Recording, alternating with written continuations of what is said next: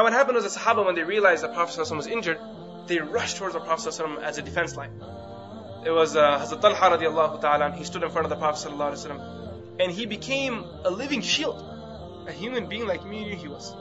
He had feelings, he had nerves on his body, he felt it. If you scratch, it says me and you, when we first scratch with a nail, we feel it. He also had, you know, senses on his skin. He felt. He was a human being.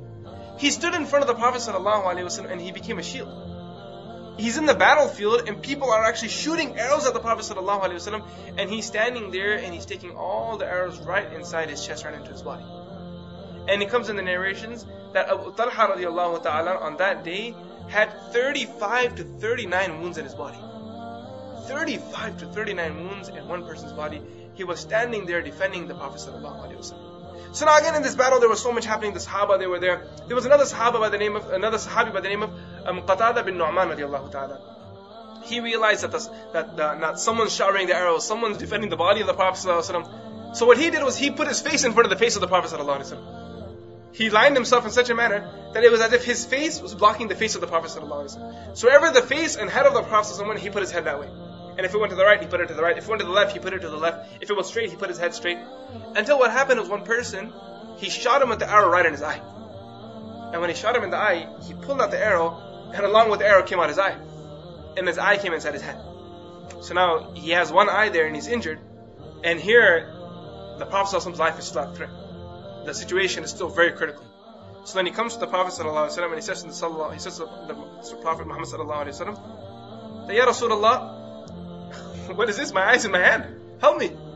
So the Prophet ﷺ, first when he saw this, the Prophet ﷺ started crying. Now this person, he was defending me and in return, Allah subhanahu wa ta'ala, He tested him by taking his eye out. He was hit right in his eye. But imagine, look at this Sahaba, subhanAllah. Such pain that if me and you were hit like this, he'd probably be on the ground crying, like little girls. We'd probably be crying on the ground, I'm hurt, my eyes out. Put a bandage on there, put some alcohol on there. Do this, do that. That's how we'd be. And this Sahabi is holding his eye and he's still standing there. And he's saying to the Prophet ﷺ that, look at this Rasulullah, what, what do I do now? So Rasulullah sallallahu alayhi said to Qatada bin Nu'man radiallahu ta'ala, when he while crying, the Prophet was crying himself. And he said, Oh, oh Qatada, you have two choices. Either paradise or your eye. Which one do you want? Do you want Jannah or do you want your eye? So sometimes when the Sahaba would come to the Prophet ﷺ, the Prophet used to always remind them that for any difficulty you have, if you're patient, what will you get in return? Jannah. If you're patient with the difficulty Allah gives you, every person has a different difficulty. Every person has their own difficulty.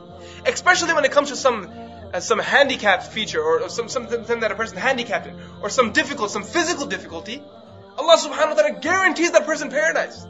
So for example, there was one Sahabiya, she came to the Prophet sallallahu alaihi wasallam, and she said to the Prophet sallallahu alaihi wasallam, "Oh, Rasulullah sallallahu alaihi wasallam, I get these, I get the, I get um, the, these attacks, I get these seizures."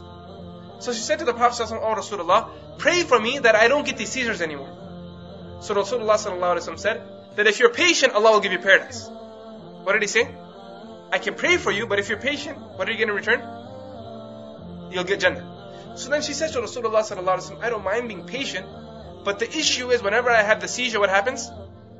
My satar opens up. When I have the seizure, my cloth it lifts up and my satar opens, and everyone is seeing my satar. So Rasulullah sallallahu wasallam raised his hand and made dua, Oh Allah, next time, from now on, whenever she has the seizures, never let her satar open up, and for you is paradise. So this is the way the Prophet, the tarbiyat he gave that you be patient with your with your test, Allah subhanahu wa ta'ala will give you paradise. So the same thing, in the battlefield, at such a critical moment, the tarbiyah never changed. At such a critical time, what happened? The teachings and the nurturing of the Prophet they didn't change. The very same answer that they would have got while sitting at home in a comfortable house in Medina Munawwara was the very same thing the Prophet said to the Sahabi in the battlefield. Another thing we see, the Prophet ﷺ is injured from more than four places in his body. And he's profusely bleeding. But yet the Prophet ﷺ did not complain and he still reminded the Sahaba of the mercy of Allah subhanahu wa ta'ala. What did he do? He still reminded them of the mercy of Allah subhanahu wa ta'ala. That be patient, qatada, and you get paradise. So he says to Rasulullah sallallahu alayhi wa sallam, Oh Rasulullah, I don't mind being patient. I don't mind getting paradise. But the thing is, I'm married. And if I go back to my house with one eye, my wife may not like me anymore. So even he's in the battlefield, this is the way he responds. He says that if I go back with one eye, my wife, my wife may not like me anymore. So then Rasulullah sallallahu applied his saliva and then he put it back inside. He placed the eye back in it, um, he placed the eye back into the into the socket and the Prophet made the dua, Allahumma atihi jamal. Oh Allah, grant the Sahabi beauty. So now the Sahaba Ridwanullahi ta'ala ajma'in, they were all over the battlefield and subhanAllah, they were making their sacrifice for the sake of the Prophet sallallahu alaihi wasallam. They realized that it was their honor to die for the sake of deen and defending Rasulullah sallallahu alaihi wasallam. And 14 of them, they began to fight. And what they realized that one of the, Rasul, um, one of the Sahabi that was there, his name was Sa'd bin Abi Waqqas radiallahu anh. And he was an amazing archer. He was like a, a sniper. He was a sniper with a with a with a machine gun, you can say. He used to fire his arrows so fast, so swiftly, and so accurately that wherever his whenever he would release the arrow, it would hit the target. Rasulullah sallallahu alaihi wasallam, when he saw the skill of Sa'd bin Abi Waqqas he started gathering the arrows from the other companions. And he started giving it to Sa'd. Sa'd, here, take this one too. Take this one too. Take this one too. Sa'd, shoot this faster, faster. And he's giving to Sa'd bin Abi Waqqas anh. And Sa'd bin Abi Waqqas says, O Messenger of Allah, if you want to see my skill, let me show you today. And he's on his game and he's taking those arrows and he's firing them away. And, and who's taking the shots here? Sa'd is taking the shots. Who's giving the assist here? Who's giving the assist here? Rasulullah sallallahu alayhi wa Look at that. Right? And Rasulullah sallallahu alayhi wa is giving the assist, when he's giving the pass, what is he saying? He's saying, Irmi ya Sa'd, fidaka abi wa ummi. Sa'd, just keep shooting. May my mother and father be sacrificed for you. Irmi ya Sa'd, Irmi ya Sa'd. Sa'd, keep shooting, keep shooting. And Sa'd bin Abi is firing away, firing away. And he's not allowing 3,000 people to even come into close proximity with Rasulullah sallallahu alayhi wa The kuffar, when they see this, they pull out their bow and arrow too. And they begin to fire from long distance. And the Sahaba, they realized that now Rasulullah sallallahu alayhi wa would be injured.